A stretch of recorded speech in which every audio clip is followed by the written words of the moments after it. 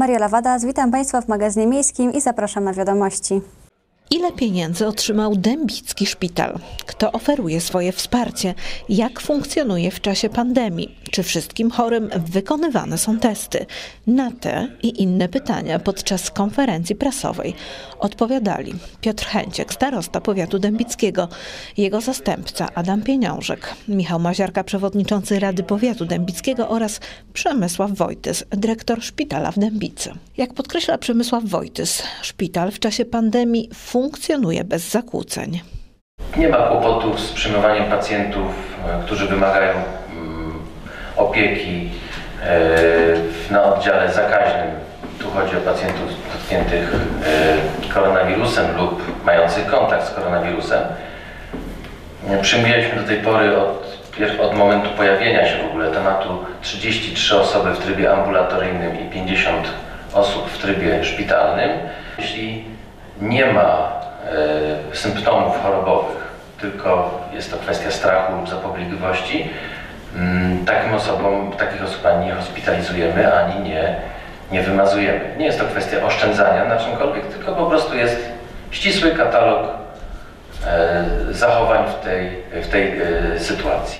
Obecnie w każdym szpitalu brakuje sprzętu, maseczek, kombinezonów, specjalistycznego sprzętu, ale jak zaznaczał Piotr Chęciek, pieniądze na zakup sprzętu medycznego regularnie napływają.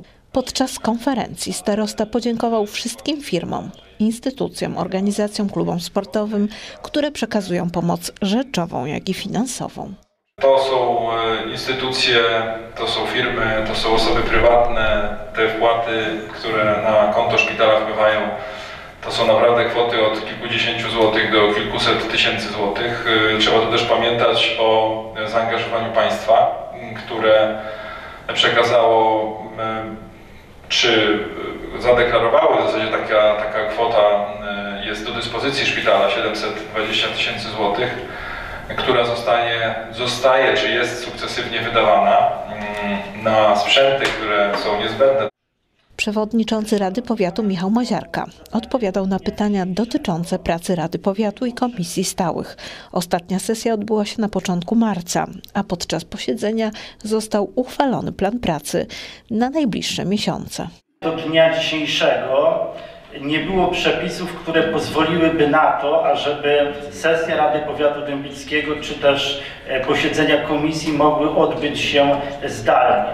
Natomiast oczywiście część prawników jakby prowadziła dywagację na ten temat, aczkolwiek od dnia dzisiejszego obowiązuje ustawa, która potocznie jest nazywana tak zwaną, e, tak zwaną tarczą anty, antykryzysową.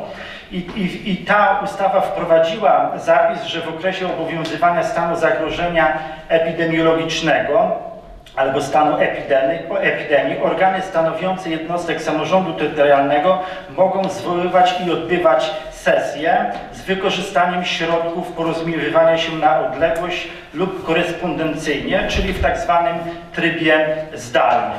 Wicestarosta Adam Pieniążek przybliżył, jak w czasie stanu epidemii pracuje Urząd Powiatowy w Dębicy. Aktualnie około 30 osób e, w ten sposób pracuje, realizując swoje zadania, realizując swoje obowiązki właśnie w postaci pracy zdalnej, pracując z domu. E, niestety nie w każdym wydziale praca zdalna jest możliwa. Jest kilka wydziałów, które pracują normalnie, to znaczy e, pracownicy przychodzą do urzędu i no, muszą korzystać z systemów, których nie da się niestety E, przekazać do pracy zdalnej. Nie można na tych systemach pracować z domu, dlatego muszę pracować tutaj, tak jak chociażby Wydział Komunikacji czy Wydział Geodezji. Natomiast tam, gdzie była możliwa do wprowadzenia praca zdalna, tam została wprowadzona. Na konferencji poruszana była także sprawa nauczania zdalnego w szkołach, którym organem prowadzącym jest starostwo powiatowe oraz jak wygląda obecnie realizacja inwestycji, w tym budowa szkoły specjalnej przy ulicy Parkowej. Mając na uwadze bezpieczeństwo zarówno mieszkańców, jak i pracowników, Urząd Gminy Dębica jest zamknięty dla osób z zewnątrz do odwołania w celu zminimalizowania potencjalnych źródeł zakażenia koronawirusem. Jak podkreśla Stanisław Rokosz, wójt gminy Dębica, mimo ograniczeń wszystkie sprawy można załatwić przez internet. My tam ciągle podajemy informacje na naszej stronie przez e, elektroniczne biuro obsługi e, mieszkańca, e, które obejmuje e, dużo portali i z tego można korzystać i dużo ludzi już korzysta. Zmienię do wyznaczonej skrytki e, w holu e, Urzędu Gminy. Wójt Stanisław Rokosz zaznacza, że sytuacja w gminie na dzień dzisiejszy jest dobra. Jedna osoba zarażona COVID-19 była hospitalizowana, już wyzdrowiała, a 120 osób jest objętych nadzorem.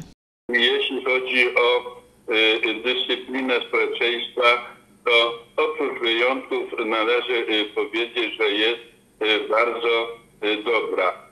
Co jest niepokojące nie tylko dla mnie, ale jako gospodarz, który odpowiedzialny jest za wdrażanie tychże y, przepisów, ja nie mogę uzyskać informacji oficjalnie, ile e, po prostu e, jest osób pod e, nadzorem epidemiologicznym, e, ile e, osób jest na kwarantannie, ile e, jest e, e, po prostu e, w zakładach, e, m, szpitalach zakaźnych. Tego nie rozumiem i e, nie mogę e, e, zrozumieć.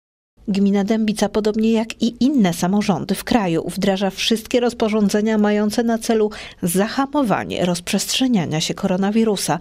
Informacje dotyczące choroby, jaki to ma wymiar społeczny, podane są na stronie Urzędu Gminy Dębica.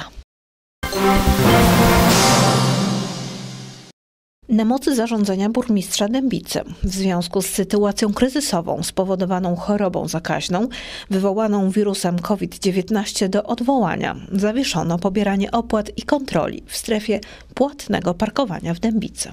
Podjąłem decyzję, taką decyzję podjąłem na podstawie rozporządzenia z 31 marca pana premiera, gdzie e, wystąpiła możliwość e, wydania z mojej strony zarządzenia na czas e, stanu zagrożenia, żeby, żeby można było zwolnić mieszkańców z opłaty. To rozporządzenie dało mi takie, taką możliwość. Oczywiście przygotuję na następną sesję Rady Miasta stosowną uchwałę, gdzie przedstawię radnym do przegłosowania. Zwolnieni z opłat są wszyscy kierowcy, którzy parkują w strefie płatnego parkowania.